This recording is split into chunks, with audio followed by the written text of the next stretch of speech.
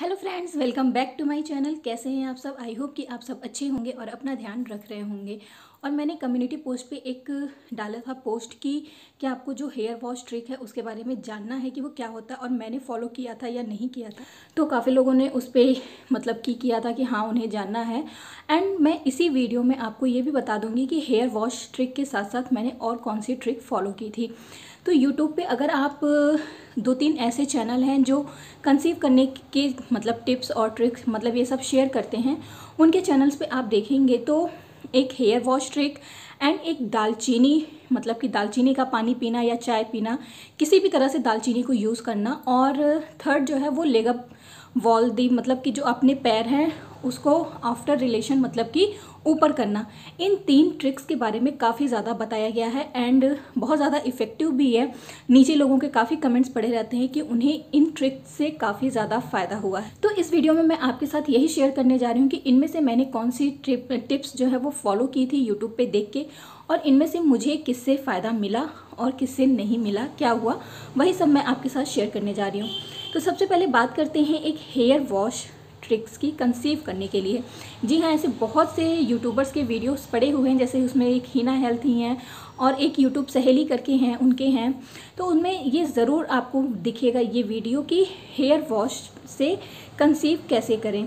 देखिए hair wash जो trick होता है ना, उसमें उन्होंने जो बताया हुआ है, मैंने सबकी वीडियोस देखी है, मैं सबका मतलब कंबाइन करके आपको बता रही हूँ कि हेयर वॉश क्या होता है। मतलब आपके जिस दिन पीरियड के बाद आपका जो ओल्यूशन डे होता है, यानी कि जिस दिन आपको ये लगे कि हाँ इस दिन हमारे जो एग हैं, वो बन के रप्चर हो रहे हैं या कुछ भी हो रहे हैं, जिस दिन आपको पता चले कि ये आपका ओल्यूशन डे है, उस दिन से लेकर जो इम्प्लांटेशन डे होता है, यानी कि जो एक जो होती है, वो हमारे लाइनिंग में जो चिपकती है, उस दिन तक आपको अपना हेयर वॉश नहीं करना है। जी हाँ हेयर वॉश टिप्स में यही बताया गया है।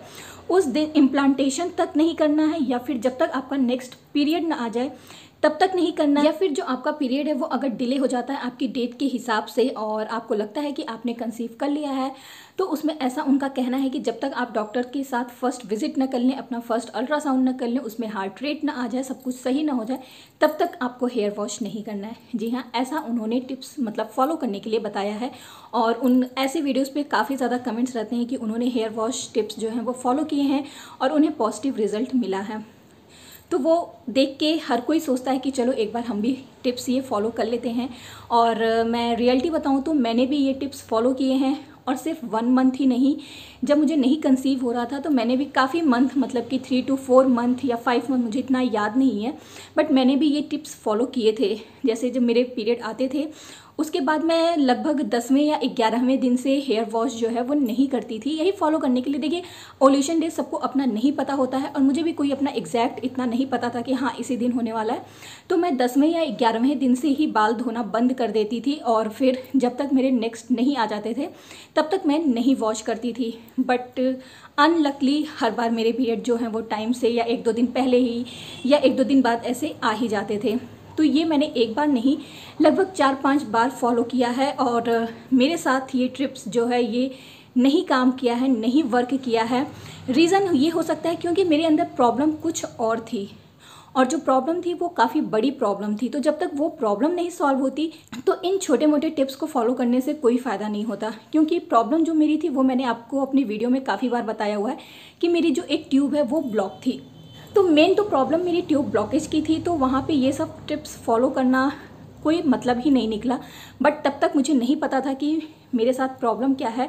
बट मैं वीडियो देखती थी, जो सब बताते थे टिप्स फॉलो करने के लिए, मैं वो फॉलो करती थी, क्योंकि जब तक कुछ दिमाग में समझ में नहीं आता तो जो हमें कहीं से कुछ भी पता चलता, हम उसी को फॉलो करना शुरू कर देते हैं। तो हाँ मैंने भी ये चीज़ फॉलो किया था हेयर वॉश ट्रिक्स और लगभग मैंने फोर टू फाइव मंथ इसे फॉलो किया था। बट किसी भी मंथ में मुझे कोई भी रिज़ल्ट नहीं मिलता था और वो काफ़ी अनहाइजीनिक भी हो जाता था क्योंकि उतने दिन तक जहाँ आजकल हम वीक्स में मतलब कि दो टाइम्स अपने हेयर वॉश करते हैं, वहाँ उतने दिन तक लगभग आठ, नौ दिन तक, दस दिन तक हेयर वॉश ना करना, वो भी गर्मियों में तो काफ़ी ज़्यादा दिक्कत भी होती थी बट होता है ना कि कुछ चीज़ होती है कि नहीं ये करना है करना है तो वो मैं करती थी बट जब मेरे आ जाते थे तो फिर मैं अपना धुल वॉश वॉश कर लेती थी। बट मैं यही कहना चाहूँगी कि ऐसा नहीं है कि दुनिया में किसी के साथ ये टिप्स जो है वो वर्क ना की हो।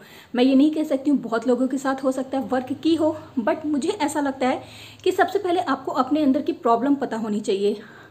अगर आपको पता है कि आपके अंदर कोई भी प्रॉब्लम नहीं है, आपकी सारी रिपोर्ट आपके हस्बैंड की सारी रिपोर्ट सब कुछ सही है नॉर्मल है, एकदम परफेक्ट है डॉक्टर डॉक्टर भी ये कह चुके हैं कि आपके अंदर कोई प्रॉब्लम नहीं है, सब कुछ सही है, रिपोर्ट नॉर्मल है, बट क्यों नहीं हो रहा है? इनका, इसका रीज़न जो है वो उन्हें भी नहीं पता है।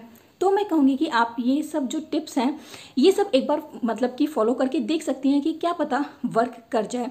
देखिए हेयर वॉश जो ट्रिक हुआ मतलब हेयर हेयर वॉश जो ना करने के लिए ये जो यूट्यूबर हैं या फिर जो भी हैं, वो इसलिए कहते हैं, उनका ऐसा कहना है कि जब हम बाल धुलते हैं तो जो भी हमारे बाल धुलने से कुछ ऐसी चीज़ें जुड़ी होती हैं हमारी बॉडी से मतलब सर के कुछ ऐसी बॉडी से जुड़ी रहती हैं कि जो हमारे जो एग होते हैं, वो जब हमारी यूट्रस की लाइनिंग से जो चिपकते हैं, जिससे बेबी बनता है, जिससे स्वैग मतलब कि वो बनता है, वो वहाँ से हट जाता है और जो हमारा इम्प्लांटेशन हुआ रहता है, वो फेल हो जाता है। ऐसा उन यूट्यूबर्स का कहना है बट ऐसा कोई भी डॉक्टर के आज तक मुझे वीडियो नहीं मिला है कि कोई डॉक्टर ये आपको सजेस्ट करे कि हाँ आपको ये टिप्स ट्रिक्स फॉलो करनी चाहिए।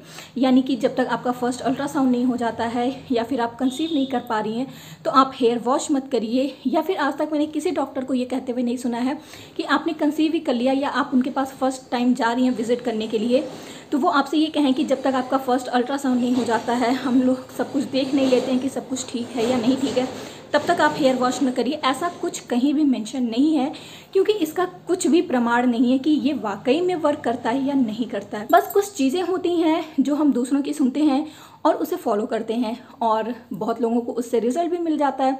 तो उस पर हमारा विश्वास थोड़ा सा बढ़ जाता है। बट मैं यही कहना चाहूँगी कि अगर आप भी ये टिप्स फॉलो करना चाहते हैं, अपना एक बार ट्राई करना चाहते हैं ट्राई करने में कुछ भी नहीं जाता है। बट उसके पहले आप ये श्योर कर लीजिए कि हाँ आपके अंदर और कोई बड़ी दिक्कत नहीं है, और कोई बड़ी प्रॉब्लम नहीं है। तो मैं कह सकती हूँ कि आप ये सब भी फॉलो करके देख लीजिए। बट अगर आपको पता है कि आपके अंदर प्रॉब्लम ही कुछ और है, आपके एग नहीं बन रहे या फिर रप्चर नहीं हो रहे या फिर ट्यूब ब्लॉकेज प्रॉब्लम है या फिर कुछ और भी प्रॉब्लम है थायराइड है शुगर है, कुछ भी है तो मैं नहीं कहूँगी कि आप इन सब टिप्स में मतलब कि अपना टाइम वेस्ट करिए, आपको अपना अच्छे से ट्रीटमेंट कराना चाहिए। अब जो अपने नेक्स्ट मैं टिप्स की बात कर लेती हूँ, जो मैंने यूट्यूब पे देखा था, दालचीनी का पानी या फिर चाय, दालचीनी की चाय मतलब दालचीनी का सेवन करना। तो मैंने वो भी फॉलो किया था और मैं ये नहीं कहूँगी कि उससे मुझे कंसीव हो गया, नहीं, बिल्कुल भी नहीं हुआ।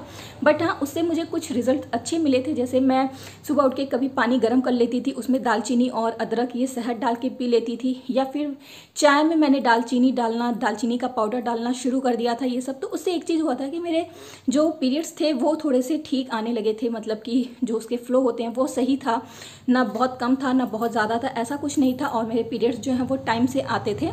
तो वहाँ पे मुझे लगता है कि उसने वर्क किया। एंड जो थर्ड टिप्स थी leg up the wall position यानी कि आफ्टर रिलेशन अपने मतलब पैर को ऊपर करके थोड़ी देर लेटे रहना। तो वो भी मैंने फॉलो किया था। बट मैं ये नहीं कहूँगी कि उससे भी मुझे कंसीव हो गया, क्योंकि इन सब टिप्स को जब मैं करके एकदम छोड़ चुकी थी, एकदम मैंने हाथ जोड़ लिया था कि अब मुझे ये सब नहीं फॉलो करना है, इन सब पे अपना दिमाग नहीं लगाना है, मेरे अंदर कमी क्या है, मुझे उसको पता करना है, उसका ट्रीटमेंट करना है। तो उसके बाद मुझे कंसीव हुआ था।